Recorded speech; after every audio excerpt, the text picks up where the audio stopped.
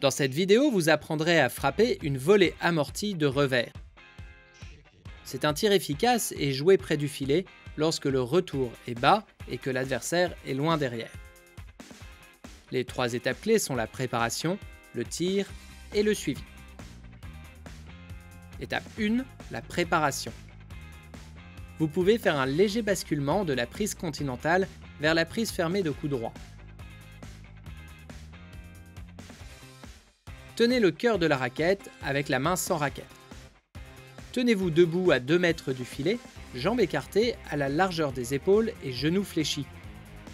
Le manche de la raquette doit être à la hauteur de la taille et la tête doit pointer en diagonale vers le haut, formant un L avec le bras. Étape 2. Le tir. Faites un pas de côté lorsque votre adversaire touche la balle. Cela vous permettra de vous tourner vers le coup droit ou le revers. Avancez vers la balle avec le pied du côté raquette et pliez les genoux.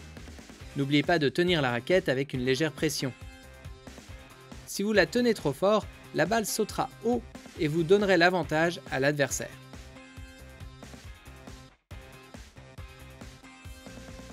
Pliez les genoux et gardez le côté de la raquette vers le haut.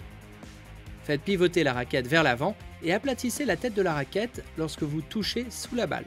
Le contact doit être sur le côté et devant votre corps. Ne pas ouvrir la tête de la raquette au dernier moment. Une fois que vous maîtrisez la volée amortie, vous pouvez essayer de jouer votre volée amortie croisée. Inclinez la raquette et touchez les côtés extérieurs et inférieurs de la balle pour ajouter un effet latéral. Étape 3 le suivi. Dans une volée amortie, il n'y a pas beaucoup de suivi. Menez avec votre corps et avancez dans le tir. Demandez à votre partenaire de vous envoyer des balles basses au-dessus du filet et pratiquez votre volée amortie. Profitez bien de votre jeu.